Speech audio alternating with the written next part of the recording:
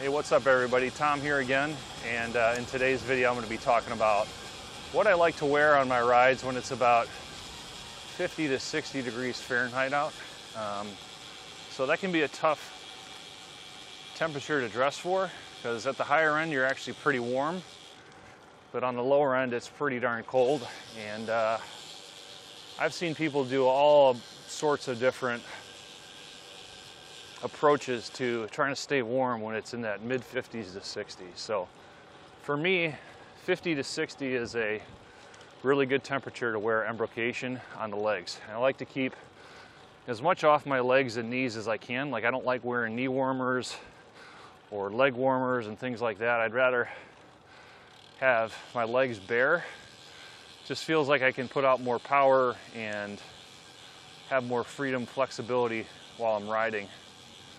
So to me, 50 to 60 degrees is perfect embrocation weather.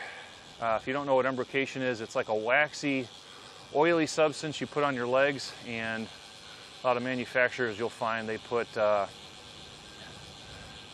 capation, cap capation, capation, something like that. It's like an ingredient in peppers. I'm butchering the pronunciation of it, but um, it helps bring blood to the legs keeps them warm and uh, definitely makes you feel a little bit more motivated to keep them moving to stay warm. And also kind of acts as a insulation barrier if the weather is kind of wet as well. That oily, waxy coating helps keep your legs kind of insulated from not only the cold, but also if it's kind of wet or rainy. So that's what I like to do when it's uh, when it's between 50 and 60s for my legs. Typically I'll wear like toe warmers on my shoes. I've, I've got my summer Giro Empire Aero shoes, like they're pretty ventilated is what I mean to say, not aerodynamic, but they're ventilated. And I'll put toe warmers over when it's in the 50s to 60s. I usually don't wear uh, like shoe covers when it's that in that range. To me, that's just a little bit overkill.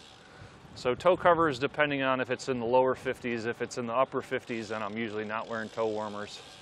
And then for me, that's like long sleeve jersey weather or arm warmer weather. And I'll put a base layer under, underneath kind of whatever jersey I'm wearing. I, I, can wear like a summer aero jersey with a wool base layer and that fits fine. Or that uh, keeps me warm just fine. But some kind of long sleeves because as far as I know, nobody puts embrocation on their arms. That's a little weird. And then, uh, yeah, I wear kind of like long fingered, lightweight leather Rapha gloves. You could wear any sort of long finger glove. If it's on the high side of the 50s, you probably could get away with, uh, you know, short finger gloves.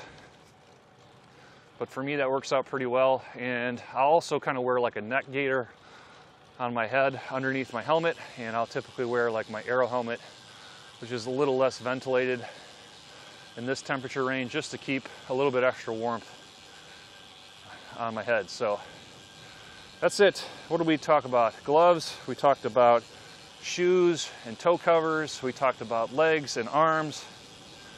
And uh, yeah, hope that was helpful. Thanks everybody for tuning into the video. Um, if you liked it, please hit the like button and subscribe to the channel for more updates. And let me know in the comments what you guys do when it's 50 to 60 degrees Fahrenheit out. Would love to hear. Thanks, and we'll see you on the next one. Peace.